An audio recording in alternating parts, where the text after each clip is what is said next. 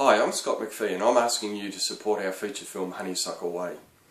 Honeysuckle Way is a dramatic feature that deals with the themes of sexual abuse and homelessness. It's a very serious topic and a very disturbing topic and the film has a lot of important things to say and it also has a, a positive uplifting ending. Um, we've spent quite a few years getting this project to the stage where it's at now. It's completely cast, scripted, scheduled. All we need now is your support with some money to get us into a position where we can film it. We're aiming to shoot it in uh, two months time in the first three weeks of December in Brisbane and then it will be released uh, in April next year.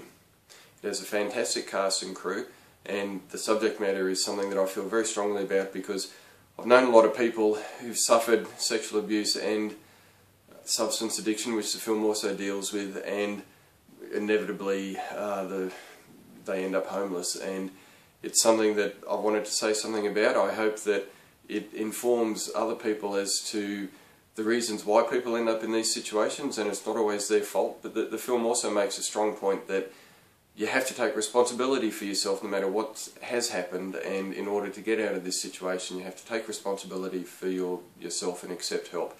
So it's got a very positive and worthwhile message. We've received a lot of endorsements from people who've worked in this area including from the Salvation Army who've described it as a very accurate portrayal and I hope that in supporting this you feel that you're going to be doing something worthwhile.